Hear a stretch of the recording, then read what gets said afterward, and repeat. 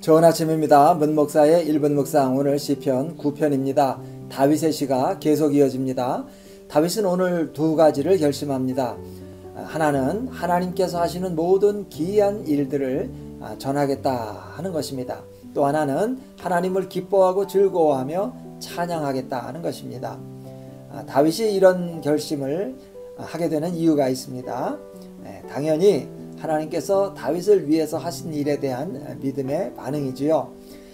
다윗은 이런 고백을 합니다. 내 원수들이 물러갈 때에 주 앞에서 넘어져 망함이니이다.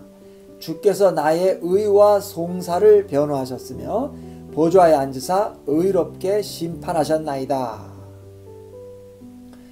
오늘 다윗은 특히 재판장으로서의 하나님의 공의로우신 심판에 대해서 여러 차례 언급합니다. 하나님이 자기를 변호하셨고 또 압제당하는 자들을 변호하셨고 하나님을 의지하고 찾는 자들을 버리지 않으셨고 공의로 세계를 심판하시고 정직으로 만민에게 판결을 내리시는 분이라고 다윗은 거듭 선포합니다.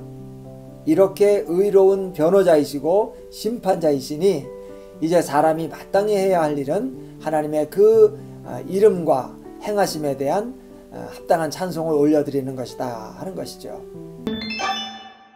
자, 그런데요, 오늘 이 다윗의 고백을 보면서 우리가 꼭 마음에 담아야 할 것이 어, 있습니다.